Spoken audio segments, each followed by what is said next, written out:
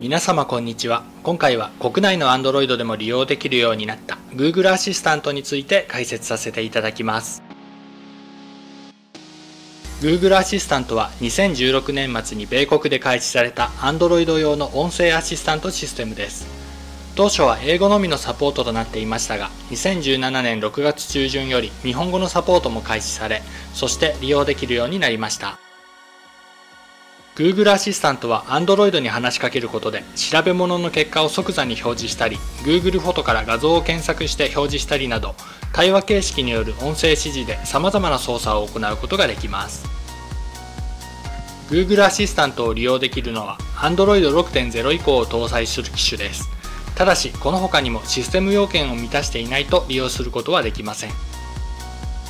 Google アシスタントを利用できるかどうかの確認は Google アプリを開いて左上のメニューアイコンから設定をタッチし設定画面一番上に Google アシスタントの項目が表示されるかどうかで行うことができます。